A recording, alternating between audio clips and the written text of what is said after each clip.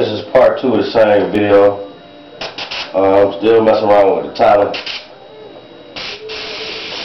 Uh, like I was saying, it don't do super, super fine lines, but, you know, um, maybe my bottle's a little dirty, paint a little thick, I don't know, I haven't really sprayed in a minute.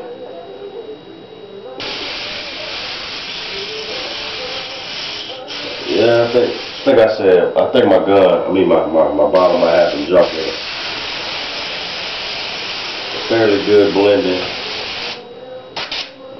Uh, industry standard. Right here, a little move. Good.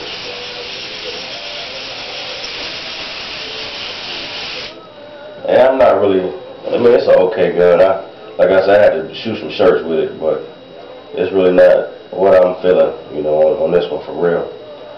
So as a, as it goes, with it being stacked up against another gun, this one right here, it really don't, it don't do much for me. Um, I'm gonna stick to what I use. I mean, I got it, you know, it's paid for, so I'm gonna use it, but, um, that's for everyday use. I don't really think this is what I wanna do. Maybe it's my, my painting style or something. And maybe it just ain't, ain't broke in. I don't know.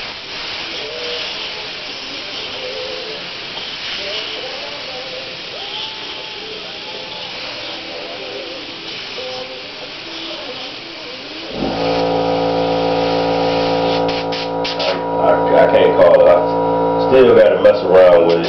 By no means is this gun impressing me at all. Um, to me, this one gets a thumbs down. I'm gonna let a couple more painters shoot with it and see what they think. And then I guess we're gonna, um, let y'all see what y'all think. So, uh, once again, this is the Paasche Talon. I didn't uh, really feel it, but sure I might. So holla back peace. Air House.